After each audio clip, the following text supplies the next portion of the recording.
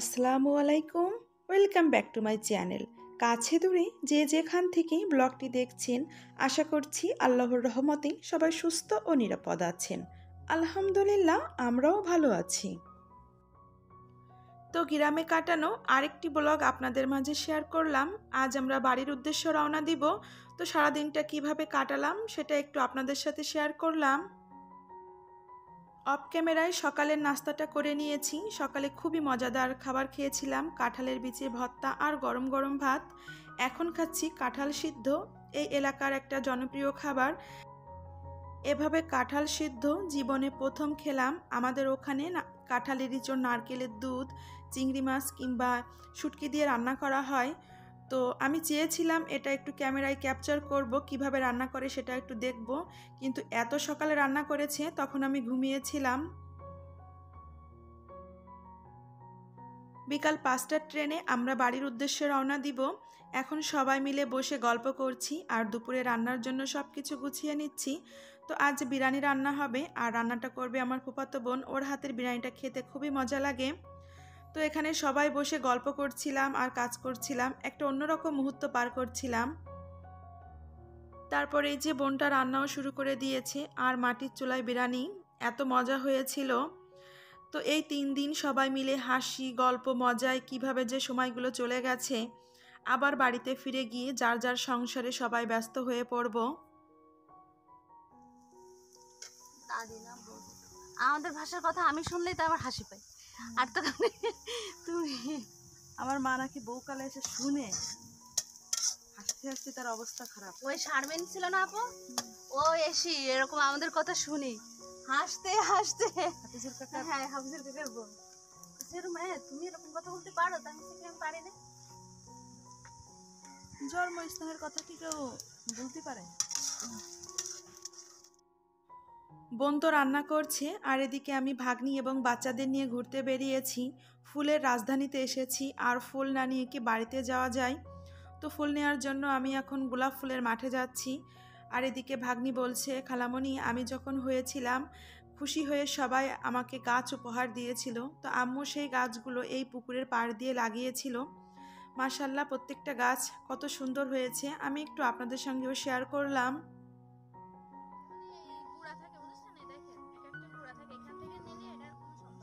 ও আমি তো তা জানি না। কালারটা এত সুন্দর। এগুলো বাসায় নিয়ে রেখে দিলে ফুটে যাবে না? আমি নিই না প্রতি শুক্রবার নিয়ে যাই আর আমার কেউ কিছু ওইভাবে মাঠেও যাব কিন্তু। কোন মাঠে? মাঠে সে গাঁদা ফুল দিয়ে বহুত কোন মাঠে ভাটা তোমার আম্মুর ওই আলু খাব আলু? না ভালো করে। আব্বু, ভিতরে যাচ্ছ কেন আবু এখন গোলাপ নিতে নিতে প্রতিদিনের মতন আমার আপু ভাইদেরকে একটা ছোট্ট কাজ মনে করিয়ে দিচ্ছি।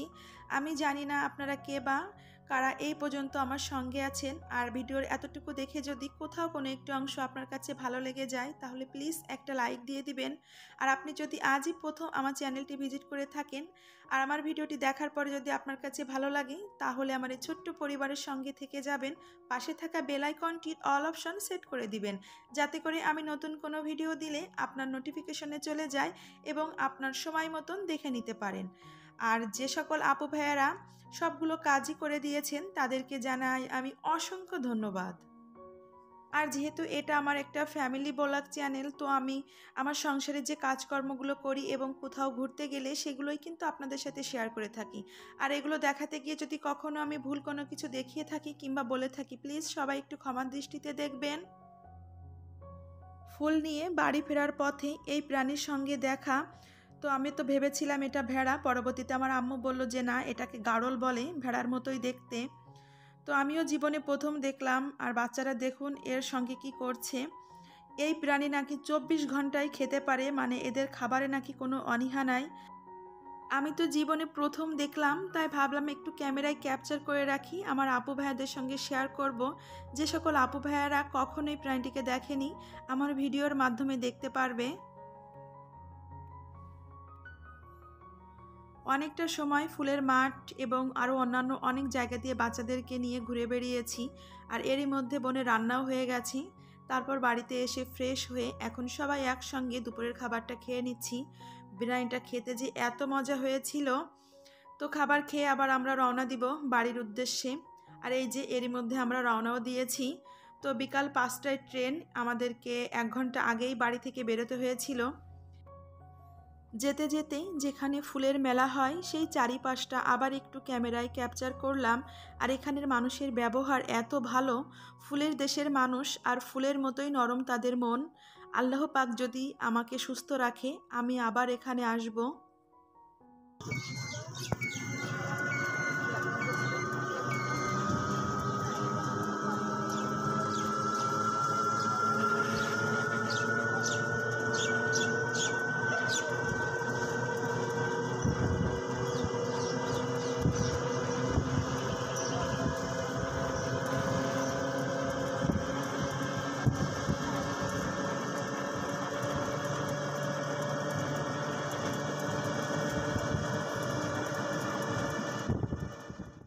তারপর এই যে আমরা এখন ঝিকরগাছা স্টেশনে বসে রয়েছি ট্রেনের অপেক্ষায়।